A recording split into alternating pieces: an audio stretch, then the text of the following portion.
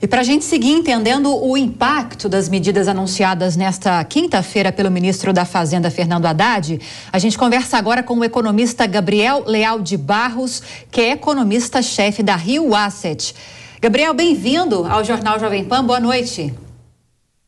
Boa noite, Lívia. Obrigado pelo convite. Queria sua análise a respeito desse pacote econômico que tem como objetivo equilibrar as contas públicas que foi anunciado pelo ministro Fernando Haddad.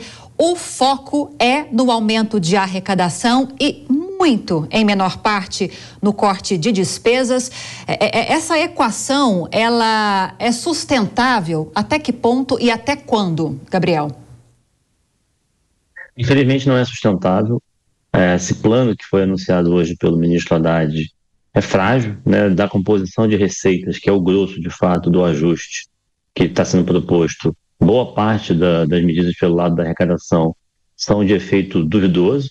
A gente tem pelo menos 70 bilhões do, do que foi anunciado que tem uma, uma viabilidade prática muito baixa, né, que são justamente medidas para redução da litigiosidade é, no CARF e também de estímulo a denúncias. Isso, sim, a viabilidade é realmente é muito baixa disso, disso virar arrecadação para o governo. Então, mesmo desse pacote que foi anunciado, além das medidas pelo lado da despesa terem sido muito tímidas, o que foi feito pelo lado da arrecadação também tem muita coisa ali que é difícil ter confiança, acreditar é, que de fato vai virar a arrecadação, vai ajudar o governo a reduzir o déficit. O próprio ministro é, cometeu esse ato falho, reconheceu que nem tudo que ele propôs de fato vai se viabilizar. Então, é um plano que de fato não animou muito o mercado, porque boa parte do que foi apresentado de fato é factível. Pois é, é, eu queria tratar de uma questão com o senhor, porque o presidente Lula disse hoje que será preciso construir uma nova narrativa justamente sobre as contas públicas e que o aumento do salário mínimo não será possível, porque, segundo ele, Lula, o mercado vê o reajuste do salário mínimo como gasto e não como investimento. Eu queria um comentário do senhor se essa fala do presidente da República não vai na contramão justamente do que prega e o que defende o ministro da Fazenda, Fernando Haddad. Vai sim, vai na contramão.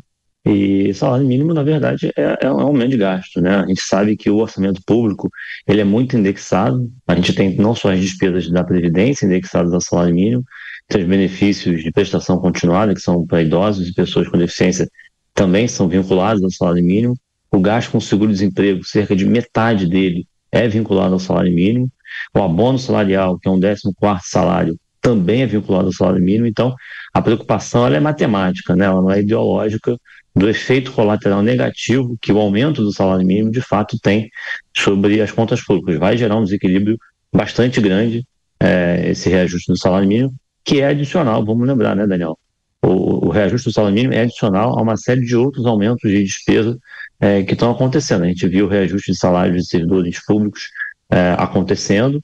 É, no final do ano, na virada do ano passado para esse ano, a gente viu a PEC da transição sendo aprovada, são pelo menos 170 bilhões de aumento de despesa né, que, que o orçamento desse ano é, passou a ter. Então já tem muito gasto, muita expansão de despesa contratada é, enquanto o Haddad está tentando né, viabilizar, prometer um ajuste fiscal, o, o presidente Lula aponta uma, numa direção contrária. É uma parte é narrativa política, uma outra parte, é, de fato, é uma tentativa do Haddad é, de, de fazer algum ajuste, mas, ah, como lembrou muito bem o, o comentarista de economia de vocês, ah, o Haddad sofreu uma derrota importante logo no início do seu trabalho, que foi justamente para tentar reonerar ah, os combustíveis, né? A ala política venceu essa discussão, né? a Glaze e o Mercadante venceram essa discussão, e o Lula decidiu não reonerar ah, os combustíveis. É, então, foi essa, essa foi a primeira derrota do Haddad, e que ele, mesmo agora anunciando, né, essa medida de reoneração faz parte do pacote que o Haddad apresentou hoje, mas mesmo assim ele colocou uma certa interrogação, disse que o presidente Lula pode, em algum momento, é, entender diferente e não voltar com essa remuneração. Então, mesmo a parte mais concreta, digamos assim, do que o Haddad apresentou hoje, que é o aumento de imposto, ela está sob júdice e é condicional a uma decisão da, basicamente da ala política. Agora, Gabriel, eu vou trazer mais uma vez alguns dados que eu trouxe mais cedo a respeito desse plano econômico. Embora ele não tenha sido exatamente o que o mercado esperava, há uma grande expectativa, pelo menos por parte do governo, que ele vai conseguir resolver muitas questões que envolvem esse desequilíbrio nas contas públicas. A gente tem um rombo previsto no orçamento de 231 bilhões de reais para este ano. E segundo Fernando Haddad, se todas as medidas que foram apresentadas é, realmente forem é, implementadas ao longo deste ano, pode haver, em vez de um déficit, um superávit de pouco mais de 11 bilhões de reais. E tem essa promessa de discussão rápida, ainda nos seis primeiros meses deste ano, da reforma tributária e a definição de uma nova âncora fiscal, né? É muito difícil disso acontecer, para não dizer impossível. A probabilidade é baixíssima de conseguir entregar um superávit primário esse ano. É, de boa parte das medidas que foram anunciadas não são viáveis, não são factíveis. As medidas pelo lado da despesa, que era grande expectativa do mercado, infelizmente né, foram muito tímidas, e existem, é importante a gente chamar a atenção para isso, existem várias medidas pelo lado da despesa muito óbvias de serem adotadas e que não foram anunciadas hoje. Fica a expectativa de que a Simone Tebet anuncie essas medidas em algum momento, ela prometeu, ela deu a entender que em algum momento no futuro próximo ela deve assumir, digamos assim, uh, essas medidas pelo lado do gasto. Tem coisas muito óbvias que não foram anunciadas. Né? Por exemplo, a revisão do cadastro único, que é uma base de dados que o governo usa para fazer a concessão de benefícios sociais. É, é possível fazer uma melhoria nessa base de dados. O Brasil hoje tem muitas políticas sociais, então é preciso fazer uma fusão de políticas sociais se fizer essas duas coisas, que são super triviais, não precisa do Congresso Nacional para fazer, a gente está falando de, pelo menos, por baixo, alguma coisa em torno de 35 a 40 bilhões de economia fiscal em um ano. É, além disso, tem a própria reforma administrativa, dá para fazer uma reforma administrativa mais profunda por PEC, mas também dá para fazer uma reforma administrativa infraconstitucional, né, por projeto de lei.